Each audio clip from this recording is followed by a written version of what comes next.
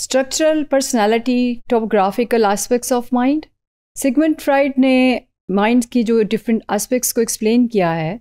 उसने माइंड को दो हिस्सों में डिवाइड किया और उसने कहा कि माइंड जो है वो जब कोई मैसेज आपको कन्वे करता है, जिसकी वजह से हम कोई एक्शन लेते हैं और हमारा जो बिहेवियर है वो डिटर्मन होता है। तो उसने कहा कि एक पार्ट तो उसने कॉन्शियसनेस और उसके बाद सब कॉन्शियसनेस और अनकॉन्शियसनेस के साथ कहा अब दूसरा पार्ट जो यहाँ पे पर्सनैलिटी का वो बता रहा है कि माइंड किस तरह से आपको मैसेज कन्वे करता है, उसने कहा this is called the dynamic aspect of mind dynamic जिस तरह से आप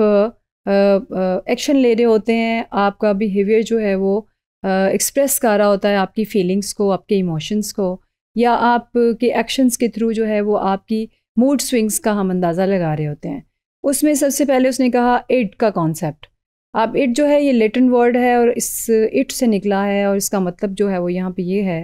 कि जैसे कि सिगमेंट फ्राइड का और साइको एनालिटिकल थेरीज जो हैं, इनका मेन जो थीम है वो ये है कि हमारी जो एक्शंस हैं, ये सारे के सारे हमारी इनर फोर्सेस से डिटर्मन होते हैं। हमारी इनर फोर्सेस जो हैं, वो हमें मोटिवेट करती हैं कोई भी एक्सटर्नल एक्शन लेने के लिए। तो यहाँ पे इड का मतलब ये है कि ये इड जो है, ये इस किस को रिप्रेजेंट कर रही है? आपकी अर्जेस को। हमारी अर्जेस जो हैं, वो हैप्पीनेस है सैडनेस है, हमारी अग्रेसिवनेस है, और इसी तरह से सेक्शुअल प्लेयर है, और ये सारी अर्जेस वो हैं जो कि ह्यूमन बॉडी का एक बेसिक एलिमेंट है। क्योंकि तीन बेसिक इमोशंस जो हैं, वो हर इंसान में पाए जाते हैं, जिसमें हैप्पीनेस है सैडनेस है, और एग्रेसिवनेस है।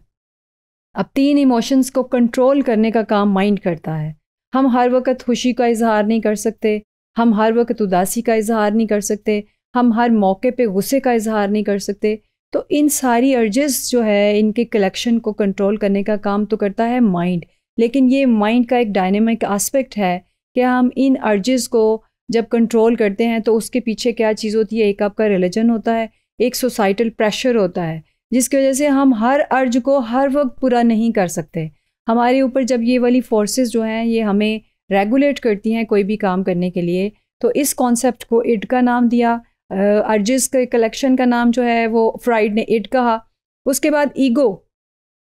अब ईगो का जो हमें कॉन्सेप्ट है या मीनिंग है इंग्लिश में, हम ये समझते हैं कि ही और she is very egoist egoist का मतलब है जी, इसकी ईगो जो है, वो बड़ी बड़ी वो होता है जी, ये तो रूड है और ये हम थोड़ा सा, उसका मतलब नेगेटिव कॉनोटेशन उसकी लेते हैं। जबकि यहाँ जो सिगमेंट फ्राइड है, वो एक ईगो के बारे में ये कह रहा है कि it maintains balance between the desire of the id id जो है, चूँकि आपकी अर्जेज़ हैं, जो बेसिक अर्जेज़ होती हैं तो उसकी जो डिज़ायर्स हैं, हर इंसान जो कहता है कि अब प्लेयर क्या है? अब इसका मतलब ये नहीं है कि मैं किसी से छीन के पैसा ले लूँ और उससे अपनी खुशी ख़रीद लूँ। यानी किसी की खुशियों को आप ख़राब करें और अपनी खुशी ख़रीद लें। यानी ये जो ईगो है, ये आपको बैलेंस करने का नाम है कि ठीक है you want to be happy you want to be you be sad even that because of the you are losing something that so that's why और because of any tragedy you are naturally becoming sad लेकिन इनको किस तरह से हमने recover करना है energies को? किस तरह से हमने इनमें बैलेंस रखना है कि obviously this is your success time and you want to be happy and you want to celebrate your success but please see that other person other fa family members they are disturbed because of something else so this time you cannot express your happiness bluntly but you need to control your happiness for some time and then you when your other family members will be convenient then you can share this happiness with them and you can celebrate your success so ये ये वो काम है जो कि ego और और it जो है ये दोनों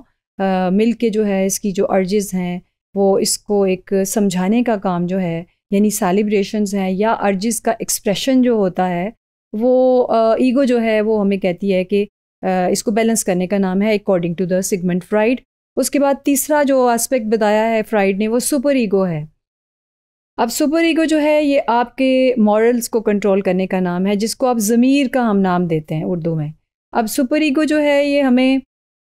अब किसी के ने आपका जो कोई है, कोई टॉय तोड़ दिया है, या बच्चे की बात हम कर रहे हैं, और या हमारी कोई पसंदीदा चीज़ जो है, उसको डैमेज कर दिया है तो हमारा दिल चाहेगा कि हम इसको मारें, या फिर इससे भी इसकी चीज़ छीन लें। तो ये एक नेगेटिव फीलिंग्स आपके अंदर नेचुरल पैदा हुई, क्योंकि आपका एक नुकसान हुआ है। लेकिन सुपर ईगो अब जो है, वो यहाँ ये काम करता है कि आपको कहता है कि ठीक है, एक शख्स की गलती तो ज़रूर है, लेकिन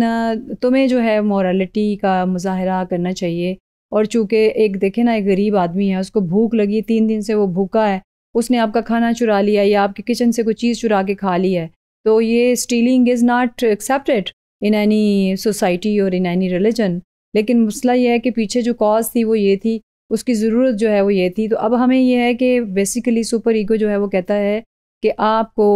राइट एंड रॉन्ग का जो डिफरेंस है, वो आपको देख के जो है वो काम करना चाहिए। कि what are you doing is it although it is giving you the player and benefit but it is that is it is not lawful so अब लॉफुल नहीं है तो अब आपको खुशी तो मिल सकती है। अब इन लॉफुल तरीके से आप पैसा भी अर्न कर सकते हैं। लेकिन क्या आप रिलीजियसली और सोसाइटल जो है वैल्यूज़ उसके अगेंस्ट जाके इस खुशी को इन्जॉय कर सकते हैं? ये सुपर ईगो का काम है कि ये आपको राइट एंड रॉन्ग जो है उसका डिफरेंस बता के आपकी इन तमाम अर्जेज़ को कंट्रोल करता है और आपको किसी सही रास्ते को अख्तियार करने के ऊपर बार बार जो है वो दस्तक देता है माइंड को कि ये करना चाहिए या नहीं करना चाहिए। तो what a person should do and should not do that decision is made through the super ego